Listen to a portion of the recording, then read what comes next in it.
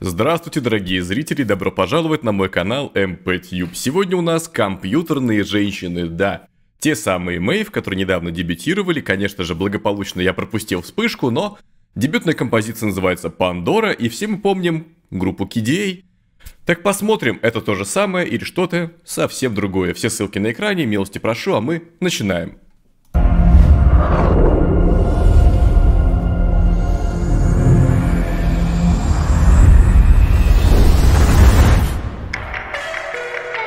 Ой, сразу отмечу, он напоминает куб компаньона из игры Portal. Кто играл, тот поймет.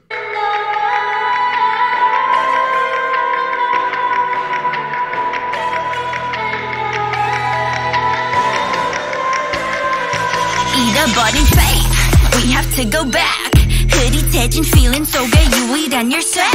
Everyone is heartless, but so we are fearless. 아무것도 막지 못해, never been so careless.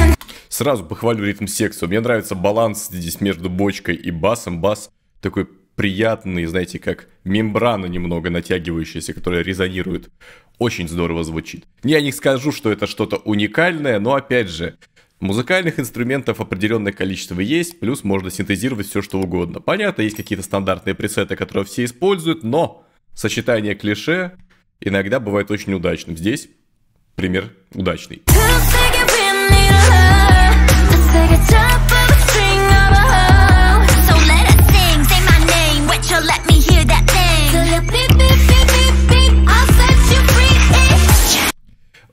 Голоса звучат прикольно, но не могу избавиться от ощущения, хотя прошло всего 50 секунд клипа, что местами девушки похожи реально на настоящих девушек, а вот местами, как когда она ехала на машине, это был какой-то эффект зловещей долины, либо какой-то, знаете, рекламы, которая вскакивает, рекламирует какую-нибудь игру с донатами. Ну вот, не знаю, первая ассоциация такая.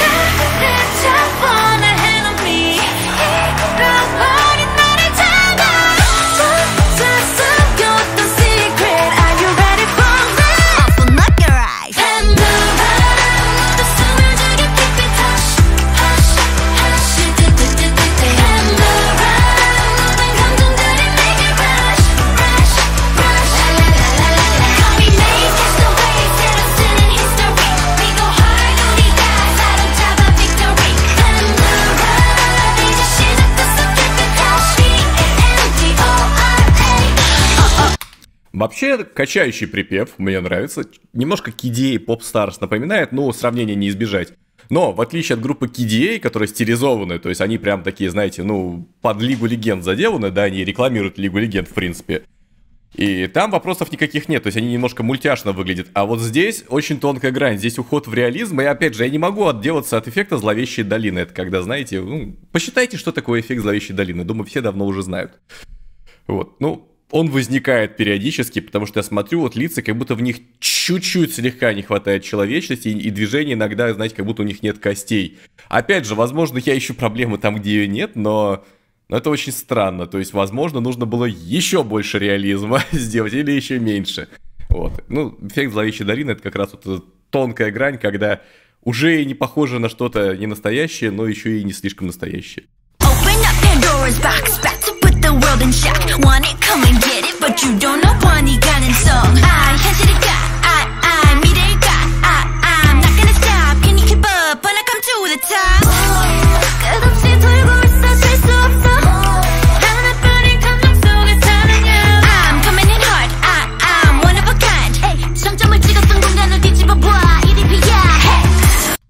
Но сама аранжировка сделана просто отлично. Мне очень, говорю, нравится, как здесь работает бас перкуссия, то есть есть моменты яркие, есть моменты более округлые, но нет какой-то мути или яда, самое главное, вот, чтобы не было мутности какой-то, потому что трек достаточно яркий, энергичный, но при этом, чтобы не было какой-то излишней вот этой яркости, которая, знаете, ядовитости добавляет, зуд какой-то на высоких частотах. Вот его здесь нет.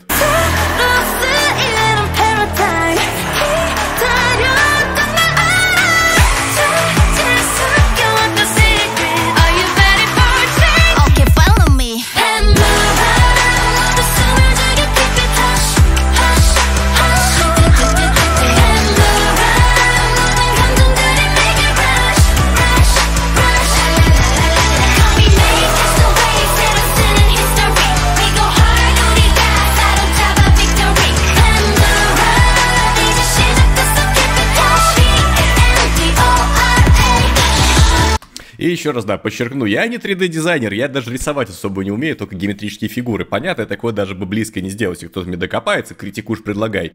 Мне еще предложить, но у меня просто друзья 3D-дизайнеры, Аня и Никита. Привет вам, Аня и Никита. И из-за них у меня появился хороший вкус к 3D-анимации. И из-за них я вижу некоторые косяки здесь, допустим, странное движение волос и так далее. Возможно, это, конечно, опять же, не косяк, но я потом у них проконсультируюсь по этому поводу, надо им обязательно скинуть этот клип, пускай посмотрят. Потому что вот что-то мне кажется, что здесь не так визуально. Опять же, трудно объяснить что, ведь я не художник, я музыкант в первую очередь. То есть, ну, звукорежиссура, продюсирование, там, композиция и так далее.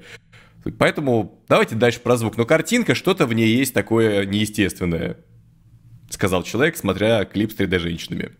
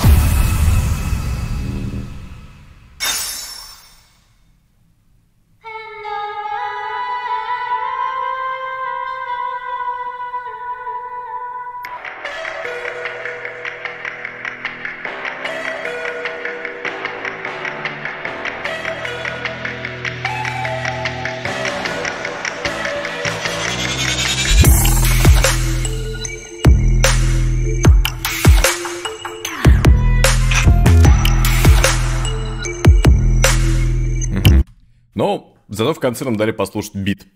Ну, что я могу сказать? Про визуальный ряд вы слышали, про музыку скажу, что в конце еще были классные такие высокие ноты, плотные, то есть девушек, которых взяли озвучивать данные аватары, ну, прямо можно на руках носить за такие голоса, отличные. Но вот возникает такой вопрос, а каково вот тем, кто стоит за этими аватарами? То есть они по идее, наверное, договоры подразумевают, что они никогда не покажут свои лица. И ладно, если какие-нибудь девушки из других популярных групп тут под псевдонимами выступают, или я, может, не обращал внимания, но, может быть, тут действительно какие-то девушки из популярных групп есть, как, например, участница G-Idol есть в KDA, и, по-моему, там еще из других групп, я уж точно не помню, KDA я тоже особо не изучал, но один клип их видел. Поэтому, возможно, кому-то наоборот так нравится. То есть, вот, у меня есть популярность, слава, но меня никто не узнает, я могу ходить по улице и не бояться, что в мою частную жизнь кто-нибудь вторгнется. Ведь я обычная корейская девушка. Ну, возможно, и такая ситуация. Но в любом случае, что вы думаете про эту группу, пишите в комментариях. Посмотрим, что будет дальше. К идее в свое время очень много светили, сейчас ничего нет. Возможно, Мэйв как раз решили и под себя подмять освободившуюся нишу. Хотя, возможно, Кидей что-то и выпускали, а я все пропустил. В любом случае, не хочу пропускать этих людей. Бустеры. Спасибо, дамы и господа, за то, что продолжаете поддерживать все мои каналы. И даже несмотря на то, что немножко простыл, я скажу, что спасибо дополнительно тем, кто донатит на сборку ПК. Правда, донаты сейчас чуть-чуть притормозились, но все равно спасибо. Также хотите стать одним из них, ранний доступ, доп. контент. Если есть возможность, пожалуйста, подписывайтесь, милости прошу. Канал с кей-поп новостями MP Reviews, MP Live со стримами, телеграм-канал как Хап Локация. Меня по-прежнему зовут Максим, и я говорю вам до новых встреч. Пока.